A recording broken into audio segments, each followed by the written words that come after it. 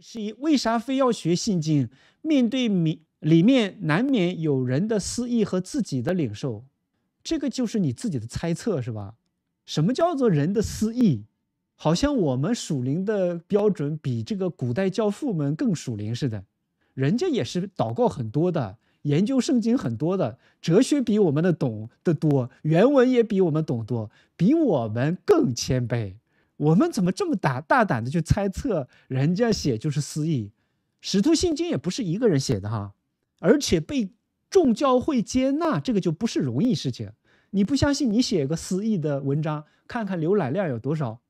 能被众教会接纳，这不是容易的事情，因为大家都有良心，都读圣经。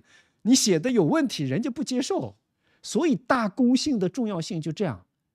你讲出来，大家都会分辨。圣灵在每个人的良心里面都会光照，出于神的被接受，不出于神的会被滤掉，会有人批判。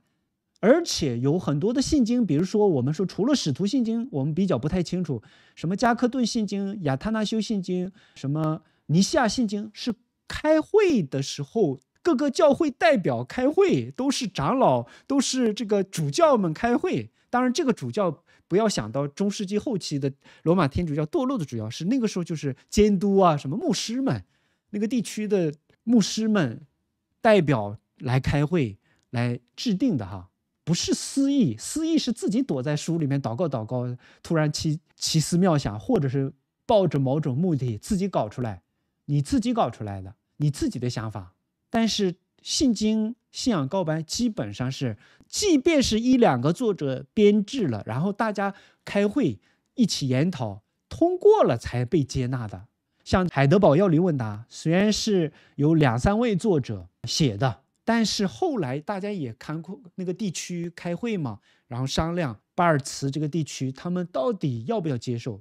经过大家祷告商讨之后没问题，他们才正式接纳的嘛。所以它具有大公性，它不是自己搞出来的，不是自己的领受。这我们想象力太丰富了。所以中国教会有一种传统的这种调调，不要随便丢哈，这种杀伤力比较。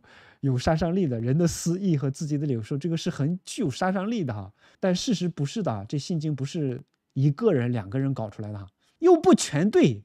你发现哪里有错了，你就指出来呗；哪里不对，你说出来。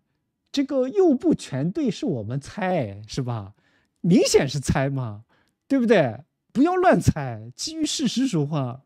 是人做出来的，不可能完全没有问题。但是至今为止。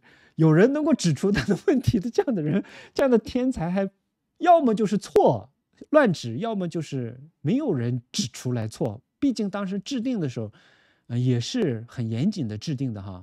很多圣经专家们、敬前的教父们、神学家们、牧者们开会，还有诸多的错误。妈呀，这个都是我们猜测哈，引起纷争啊，引起纷争是会的。为什么？灵派他不接受韦斯敏斯的信仰告白，对不对？那没办法，那不是我们信经的问题，是对方的问题。亚流什么异端，他们都不接受，那很正常。不接受证明他们不是出于真理吗？正证明他们是里面的灵是谬妄的灵吗？如果因正统信仰引起纷争，是纷争的人的问题，不是正统信仰的问题啊！这个一定要搞清楚，又不是神的漠视。好像你很讨厌这个信经信条，这里面很多的话都是你自己的私意哈，自己的领受。我不知道哪位同学写的哈，这个我你也知道我没有恶意哈，所以给你加深印象，就以后再说话的时候小心点我们学了神学的人不能随便讲话哈，这个很多都是猜测嘛，我们可能受传统的观念的影响，对信经不太了解，然后就这么妄论批评。信经，信经是对你有益处的，建立你的信仰，保护你的信仰。信经不是捆绑让我们下地狱的哈，所以不必要对信经这么恐惧，这么抵触哈。